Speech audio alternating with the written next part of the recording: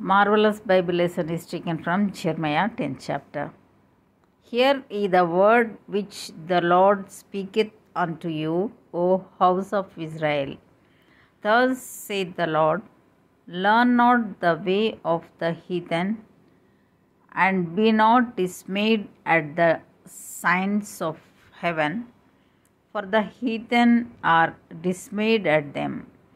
For the customs of the people are vain, for one cutteth a tree out of the forest, the work of the hands of the workman with the axe.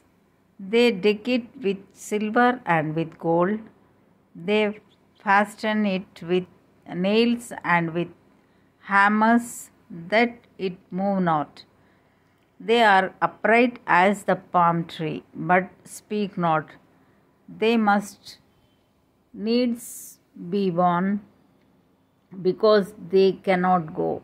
Be not afraid of them, for they cannot do evil, neither also is it in them to do good.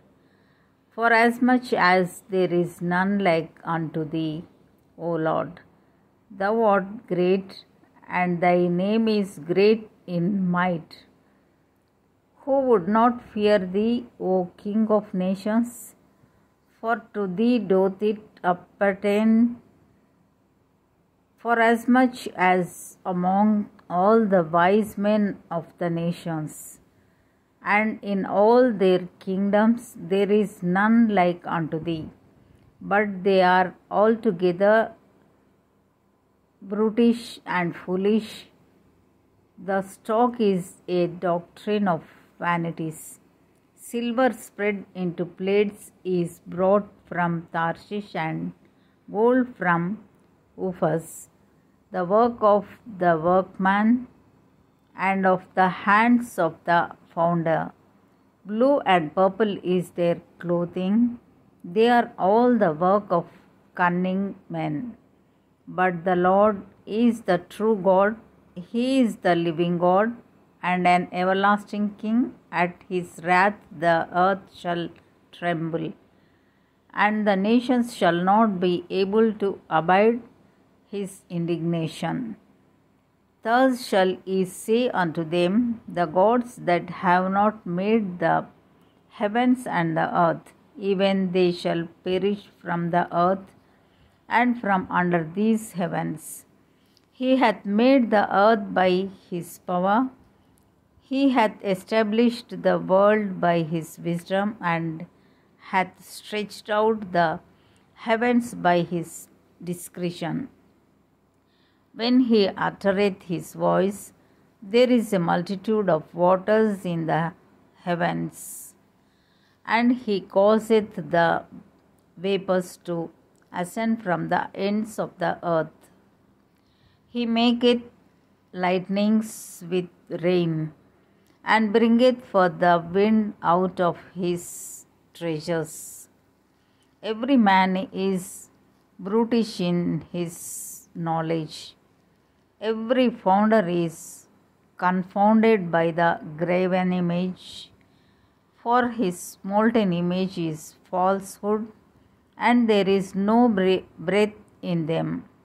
They are vanity and the work of errors. In the time of their visitation, they shall perish.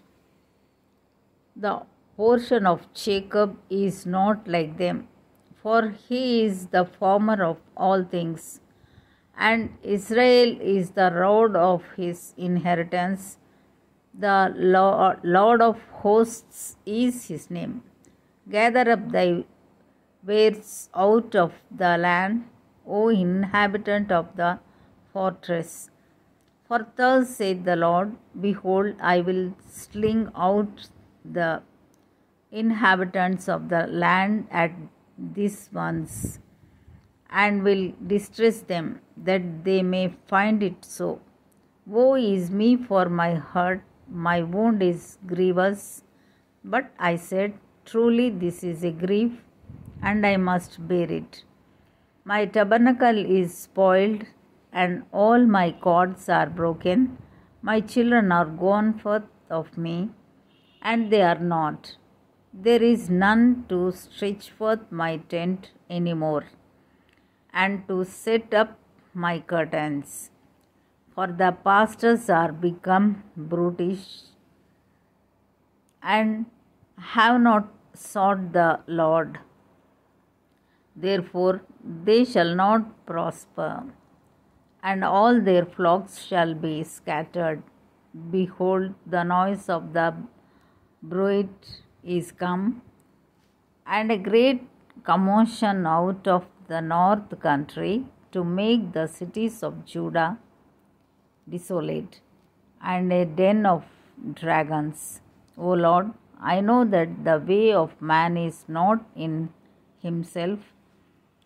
It is not in man that walketh to direct his steps. O Lord, correct me, but with judgment, not in thine anger, lest thou bring me to nothing. Pour out thy fury upon the heathen that know thee not, and upon the families that call not on thy name, for they have eaten up Jacob and devoured him and consumed him and have made his habitation desolate. Here ends the Bible lesson.